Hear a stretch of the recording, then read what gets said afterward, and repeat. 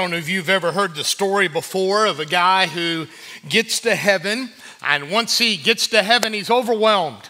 He's overwhelmed by the streets of gold. He's overwhelmed by the pearly gates. He's overwhelmed by the crystal sea. And uh, an angel's kind of giving him a tour of heaven. He's just gotten there, and uh, the angel shows him this big warehouse. And it had been the biggest warehouse he had ever seen. I mean, it goes on and on for miles. It, it probably has millions and millions of uh, square feet. And the angel tells him to go on in. And he, so he opens the door and he enters this warehouse, and it's just full of presents. I mean, there is just row after row and shelf after shelf of present after present. And as he walks a little bit, he notices that all of the presents, they're beautifully wrapped, they have a beautiful bow on them, and then they all have a name tag.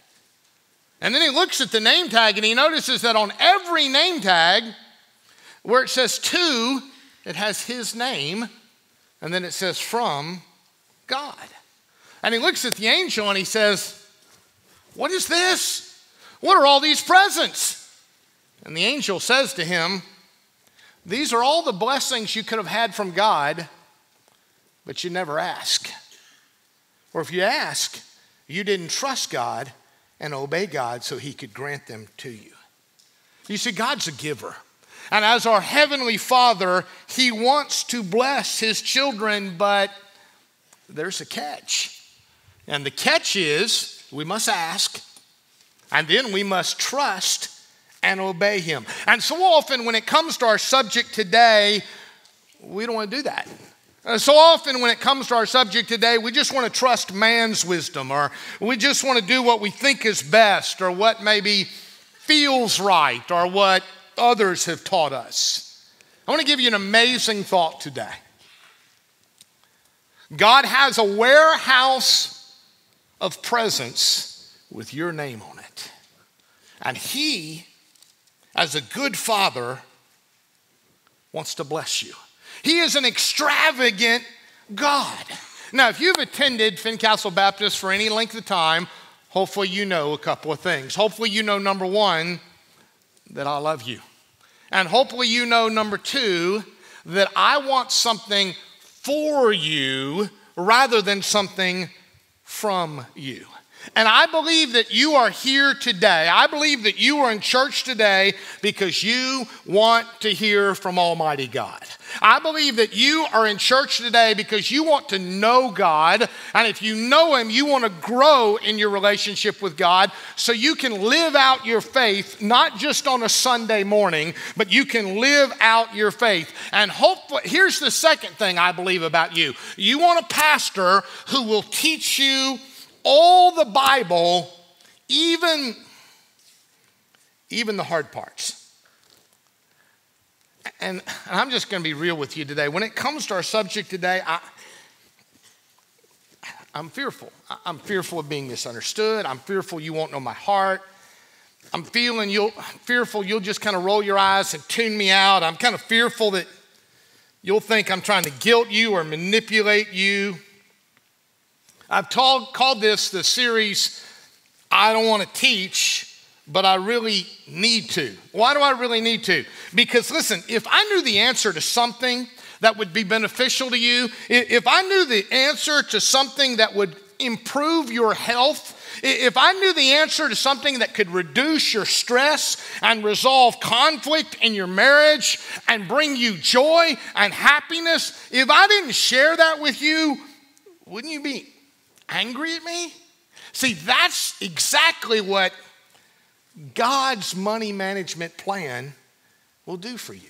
Every time we open this book and every time we learn from the Bible about how to handle worry or stress, or every time we study about relationships or dealing with fear or regret, we, we all benefit. We all, we all take the, the next step. But even though Jesus spoke on this subject that we're going to cover today, he spoke on finances and stewardship more than he did heaven and hell and prayer combined. There's just something inside of us, especially as Americans, that, that, that when preachers try to deal with this subject, there's just something inside of us that just kind of pushes back. And we react negatively. And I get it, I understand. I mean, money is so powerful. It, It's so personal. It really reveals what our priorities are, but we all deal with it. We all handle it. We all spend a lot of time trying to earn it, and spend it wisely. And God wants to bless us, and God wants to help us get it right. And so, if you haven't already done so, open your Bible to Luke chapter 16. Luke chapter 16, and we'll start reading in verse 9. Luke 16. Now, if you don't have a hard copy of the Word of God, we've got free Wi Fi at both our campuses. Those of you up in Alleghany County and our Highlands campus that are watching today, there's free Wi Fi up there. You go ahead and open up to Luke chapter 16. And here, Jesus is telling a story. It's called a parable. A matter of fact, do you know that two thirds of Jesus' parables are about this subject?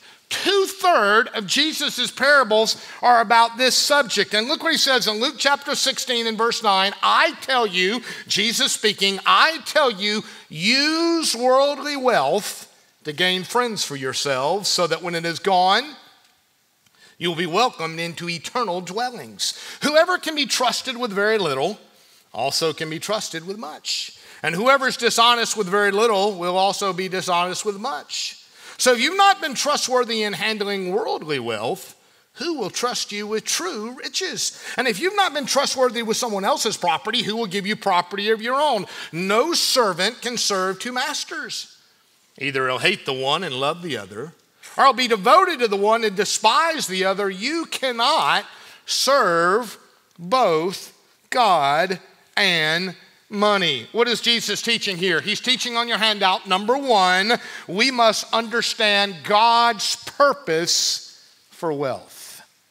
Now, we all know that wealth is measured in much more than just Federal Reserve notes, okay? But this parable and our lesson today is specifically about money. And Jesus says in verse 9, I tell you, use worldly wealth to gain friends for yourselves, so when it's gone, you'll be welcomed into eternal dwellings. Now, this verse is very confusing. Let me help you.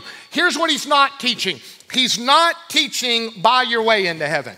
He's not teaching that you pay for your salvation. No. Over and over again, the scriptures remind us that salvation is a free gift. What is Jesus saying here? He's saying, A, on your handout, money is a test. We studied this last week in Matthew 6 that as we go through life, there will be four financial tests we will all face. It doesn't matter our gender, it doesn't matter our background, it doesn't matter our current economic status. As we go through life, we will all face four financial tests. Malachi 3 says God wants to bless you. He wants to throw open the windows of heaven and pour out so much blessing, but we must follow God's money management.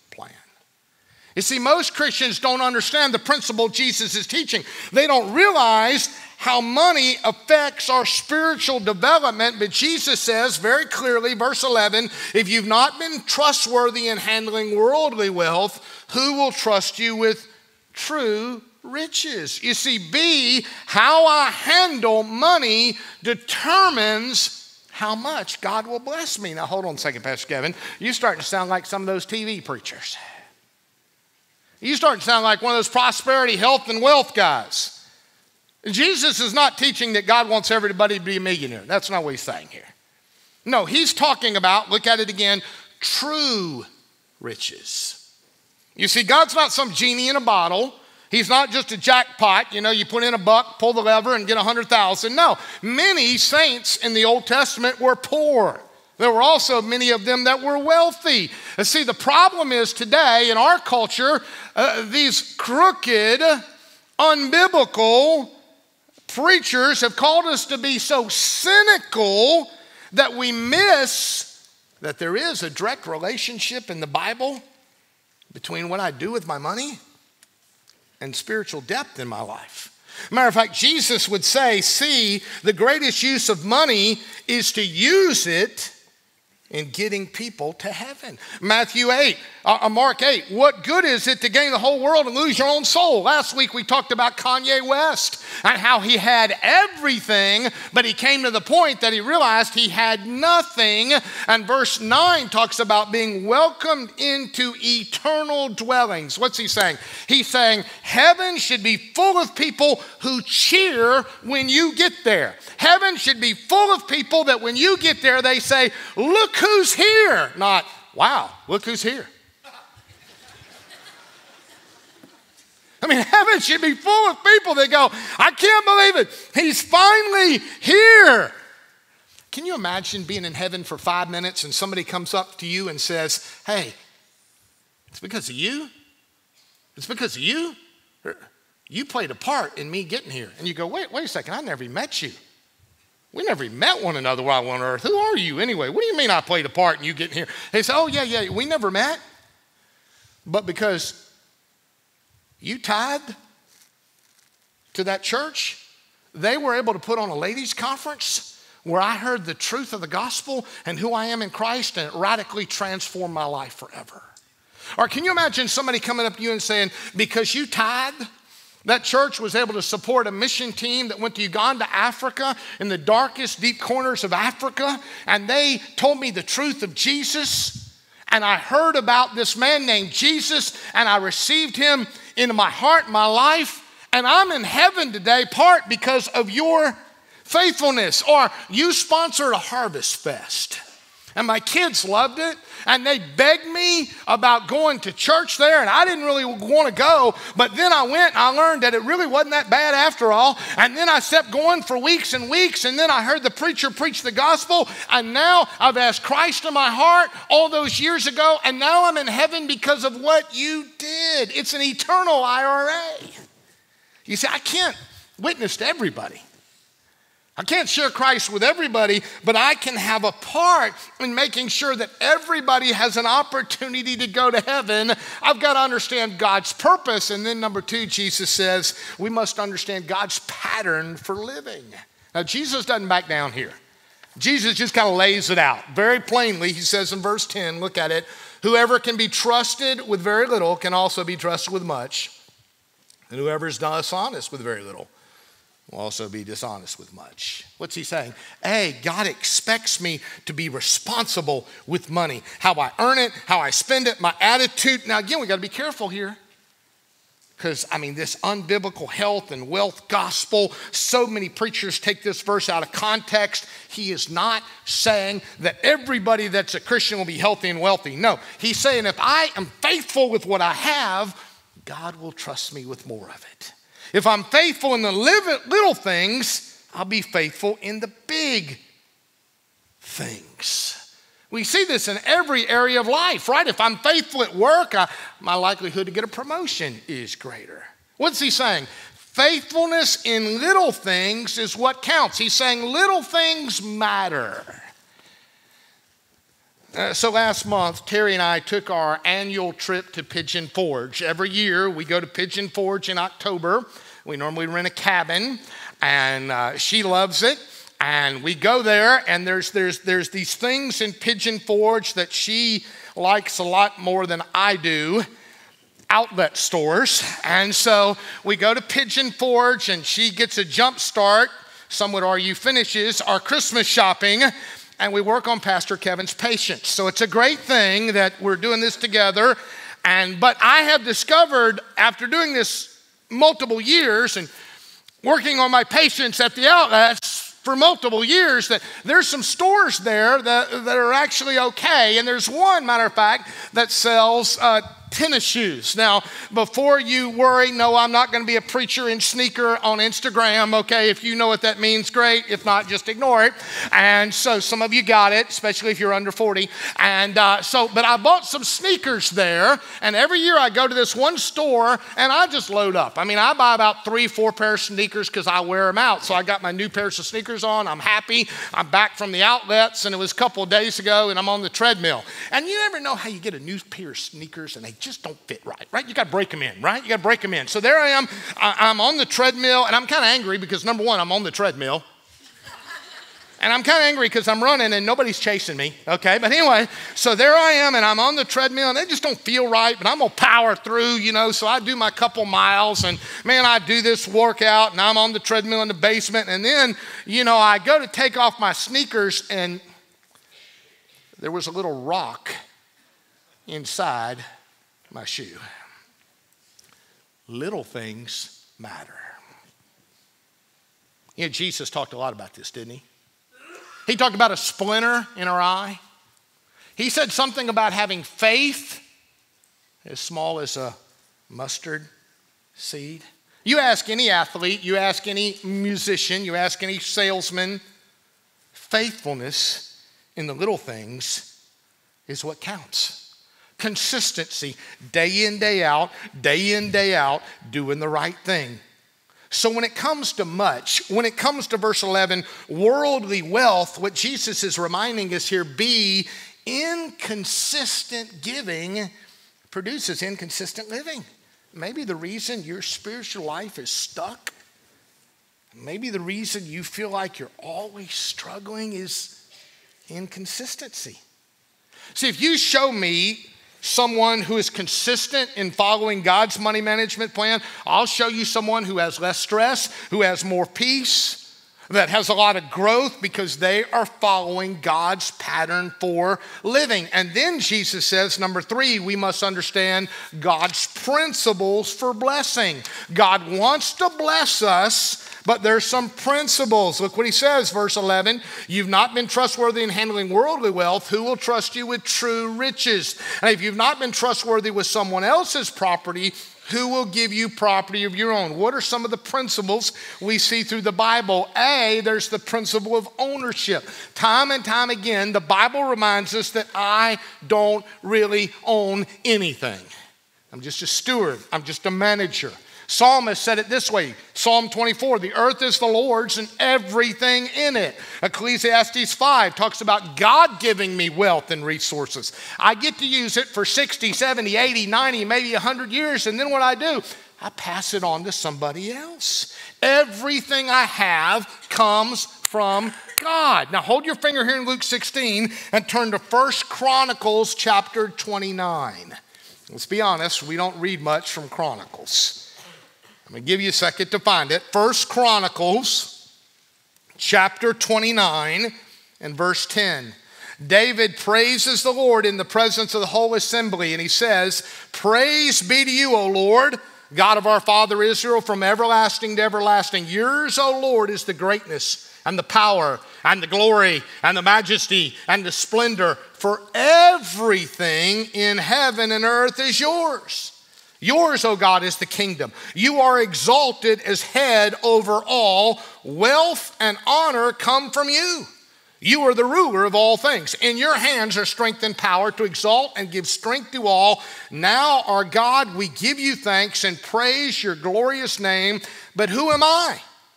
And who are my people that we should be able to give as generously as this? There's the principle of ownership. B, there's the principle of tithing.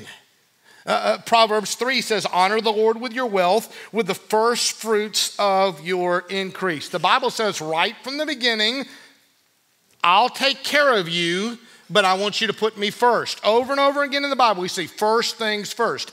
God says, 10% of all you make, I want you to return back to me. Now, why did God say 10%? I have no idea. He could have said 5%, he could have said 20%, he could have said 50%. God doesn't want my money, He wants what it represents my heart. We studied last week, my heart follows where my treasure is. And when it comes to this idea of tithing, I was talking to a couple of our staff guys this week, and a couple of them just said, Pastor Kevin, I just don't think people understand. I don't think they either really have ever never been taught, so they don't understand. So just let me help you very basically. Number one, what is a tithe? It's 10% of my income. And now, what's that mean? Throwing a 20 in the offering plate is not tithing unless I earn $200 a week. Uh, let me use another illustration. Putting a $100 bill in the offering plate every Sunday is not tithing unless my combined household income is $52,000 a year. Why should I do it? Why should I tithe? Well, there's several reasons. Look at your handout. Number one, because God commands it. Oh, way back in Leviticus 27, he says, The tenth of all you produce is the Lord's, it's holy. Matthew 23, Jesus said, You should tithe. On your handout, tithing proves God has first place in my life. Look at the verse on your handout. The purpose of tithing is to teach you to always put God first in your lives. On the back side, look, tithing reminds me everything was given to me by God. Deuteronomy 8, the Lord your God gives you the ability to produce wealth. Tithing allows me to express my gratitude to God. Psalm 116, how can I repay the Lord for all his goodness to me? Deuteronomy 16, I'm to bring a gift in proportion to the way the Lord has blessed me. Matter of fact, refusing to tithe, Malachi 3 says, is stealing from God. Will a man rob God? You go, no way, God, I wouldn't rob you. But God says, yes, some of you are robbing me. Well, God, how are we doing that? He says in Malachi 3:8, in tithes and offerings. Tithing gives God a chance to bless you. That's what we're talking about here. Proverbs 22, a generous man will be blessed. Tithing proves I really love God. Jesus says, if you love me, obey me. And tithing makes a difference. Hold your finger here and turn to Second Corinthians 9. 2 Corinthians 9 and verse 6. 2 Corinthians 9 and verse 6. Remember this whoever sows sparingly will reap sparingly, whoever sows generously will also reap generously.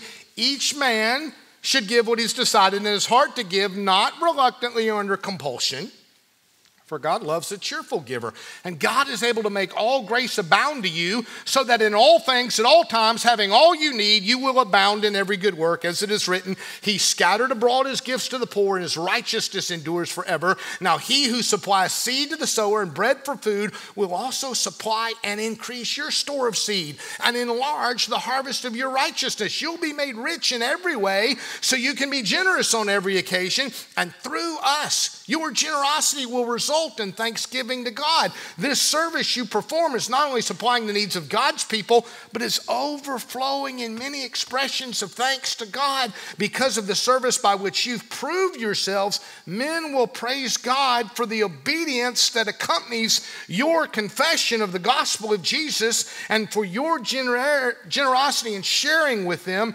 and with everyone else. What's he saying? Your tithing makes a difference in other people's lives and it makes a difference in your life. Now, I am not trying to guilt you or manipulate you. Can, by the way, can I just remind you, I have no idea who gives what here. Me and the other pastors have no idea who gives what. We keep ourselves from that information. I never want to be tempted to treat you differently. We put it in the bulletin every week. I mean, come on, I jokingly say it's the only part of the bulletin that everybody reads. You come in here, we all do it. We look at how many people were here last week, and we look at the tithes and offerings. But giving to this ministry makes a difference. It also makes a difference in your life. Well, number three, where should I tithe? Well, the Bible tells me, Malachi 3, the storehouse, the temple, the church, where I worship. I don't tithe to the building fund. I don't tithe to missionaries. I don't tithe to charity. Well, when should I do this? 1 Corinthians 16, Sunday, on the first day of the week. Well, how should I do it? We just read it. I should give generously, willingly, cheerfully, expectantly, not out of guilt, not under compulsion. Well, what's the difference between a tithe and an offering? On your handout, an offering is anything I give above my tithe. I'm all for missions. I'm all for the building fund and giving to charity. I'm all for church planning, but that is gifts above my tithe. Well, what's the key to all this? On your handout, they gave themselves first to the Lord. You ever done that? I mean, it's such a tough subject for pastors. So many, they put such an overemphasis on this. In some churches, it's all you hear about sermon after sermon. And, and if you're here today or if you're a guest, man, you can be cynical at this point. Can I just be real with you? I, I have not done a complete series on this subject since 2011. And God really convicted me about that. because I want to help you. And I don't want something from you, I want something for you. And if I knew what could reduce stress, reduce arguments in your marriage, bring you joy and peace, but, but I'm just fearful. So many of you walk in here with hurts and struggles and hard times, and, and I'm much more comfortable teaching how to handle life's hurts or how to overcome or with God's help, you'll get through this. I'm much more comfortable teaching about relationships and marriage and parenting. And I'm so fearful. And I, can I just be really share with you what God did for me this week? Just for me. So I was just struggling with it because God, you know, and now we have this ladies' conference and people come and give yourselves first to the Lord. So I had two people in my office this week, two people in my office this week and they were struggling with stuff. And can I just tell you, this, this doesn't happen week after week for me. And two people in my office, two grown adults, I would say over the age of 40, easy. Two people in my office, both. I was able to witness grown adults see them bow their head and pray and ask Christ come in my heart, my life. How did I do that? You know, they were struggling, and I said, Hey, have you ever seen this book? Have you ever seen this book? This is a weird book. What makes this book unusual is what it doesn't have. It doesn't have words, doesn't have pictures, but it tells the best story ever. I, I don't know about you, but sometimes when I read a book, I like to just cut to the chase. So the last page on this book is yellow. And I said to them, You know, when I see yellow, it reminds me of heaven. How the Bible says the streets are paved with pure gold and everybody wants to go to heaven. You know, the Bible says that there's no need for the sun there, that the glory of God, Jesus Christ, illuminates all of heaven. And everybody wants to go to heaven, but there's a problem.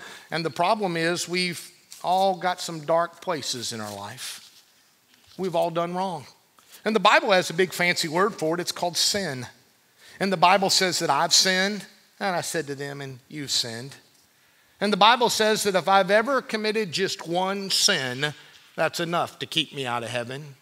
Well, most of us blew that a long time ago. But the Bible says the wages of my sin is death in hell, separated from God's love forever. But that's why Jesus came and shed his blood and died on the cross and was buried and rose from the dead. Because the Bible says, without the shedding of blood, there is no forgiveness of sin.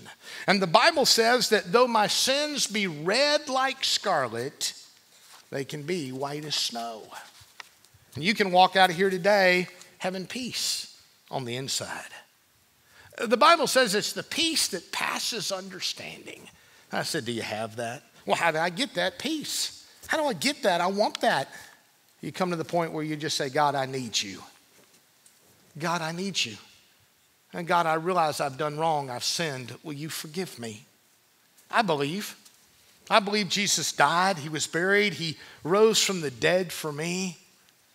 And you just say, God, I need you in my life. Come into my heart, my life. Make me a Christian. Have you ever done that? And what a joy it was to see those two adults, tears streaming down their face, pray and ask Christ in their heart. And then what do I do after that? Well, the Bible says to show everybody what Christ has done for me is why I get baptized. I don't get baptized in order to go to heaven. I get baptized because I already have the assurance that I'm going to heaven. So one day, whenever my time on this earth is up, I can have the assurance. I don't hope so. I don't think so. I'm not pretty sure. The Bible says I should know that I know that I know my eternal destiny. Well, what do I do in the meantime? What do I do while I'm waiting? I grow in my faith. Just like the grass grows and the trees grow and the bushes grow, I'm to grow spiritually.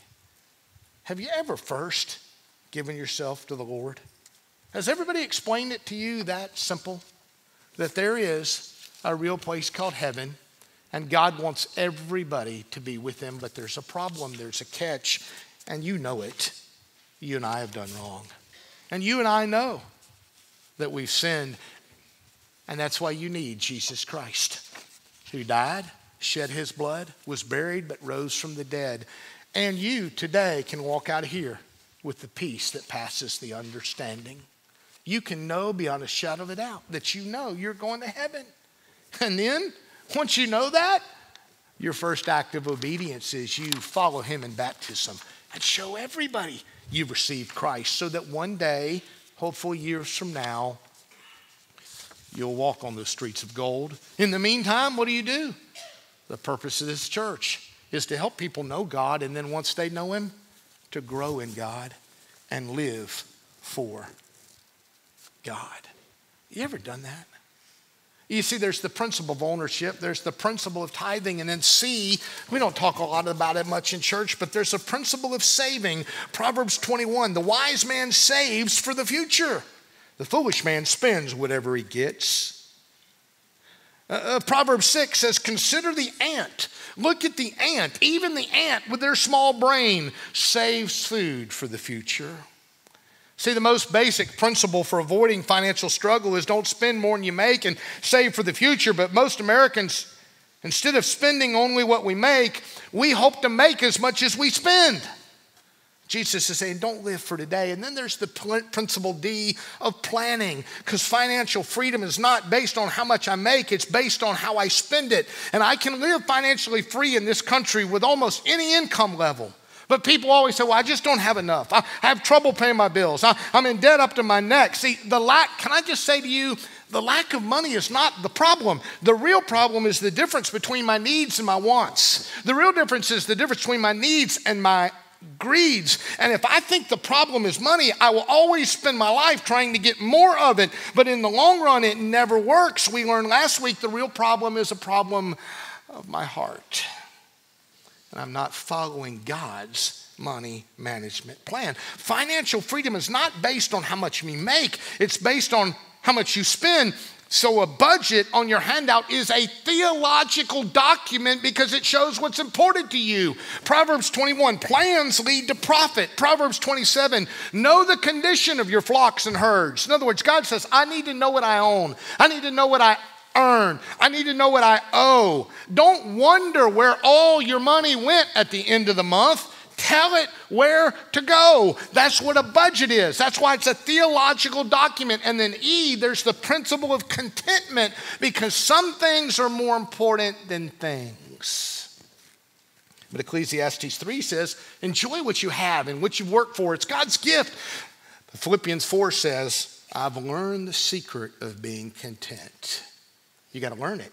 It doesn't come naturally, especially in America, and it's a secret. Few people get it. I learned the secret of being content. Hebrews 13 says, Keep free from the love of money. Be content with what you've worked for, for God is with you. He's your helper. Do not fear. And then, lastly, number four, we must understand God's priority of loving. Look how he ends this little parable, verse 13. No servant can serve two masters. He'll either hate the one and love the other, or he'll be devoted to the one and despise the other. You cannot. He doesn't say you better. He doesn't say you better not. He doesn't say it'll be unwise. He doesn't say it'll be difficult. No, he says you cannot serve both God and money. It is impossible. I'm going to go out on a limb right here and say none of you want to hate God. I mean, you're in church today.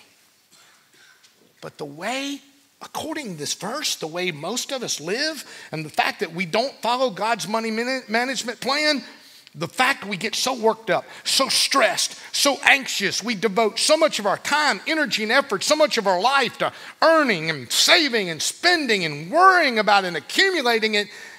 Jesus is saying, I must choose what I love most in life. He's saying it's a choice. It's kind of like trying to please two bosses. It's kind of like in countries where men marry multiple women, it'd be kind of like trying to please two mother in laws. God says, I want first place in your life. Exodus 20, no other gods but money is a great thing, but is a lousy God. Money is a great thing, but it's a lousy, small g, God. Now listen, don't miss it. Don't miss it. Number one, the number one thing God wants from you on your handout is your heart. Have you ever given yourself to the Lord? Have you ever said, God, I need you. I want to go to heaven. God, I freely admit I have sinned. God, forgive me. I believe you died, buried, and rose from the dead. I want that eternal peace. I want to know you. Have you ever done that? Maybe you're feeling pressure today about finances. Maybe in your marriage you're always arguing about it. Maybe there's more month than there is money, and it seems like that's a reoccurring thing for you. Maybe you're just spending it all, you're saving nothing, you're wondering where it all goes. And can I remind you, number two, that out of control finances are a symptom a symptom of an out of control life. That's why you need Jesus Christ. That's why you've got to follow God's money management plan. God wants to help you, God wants to bless you, and your good God has provided the answers to your struggle in life in His Word. Remember His purpose for wealth. Money is a test. And I don't care if you have a lot or if you have a little, you and I were tested Money is a test, God says. Remember God's pattern for living. God wants me to pass the test. So be responsible with money because it's all his money anyway, because really I don't own anything. And remember his principles for blessing, his principles of ownership, of tithing, of saving and planning. And don't you dare miss his priority of loving, that he loves you. It's what he does, it's who he is. So listen to me no matter who you are, no matter what you've done. Listen to me, no matter where you've been. God's grace is for you today. You first give yourself to the Lord. Have you done that? Do you know? You see, I'm encouraging you to settle it once and for all right now, friend. Now, some of you here under the sound of my voice today, you'd say, Well, I did that years ago, Pastor. I did that years ago. Great. Then let me ask you a hard question as we close. And it's hard, and it's personal, and it's practical, and it reveals where your priorities are. It doesn't matter what we say, it really reveals it. And it's hard, but listen, if you know Christ, number three, are you honoring God with His money that He's entrusted to you?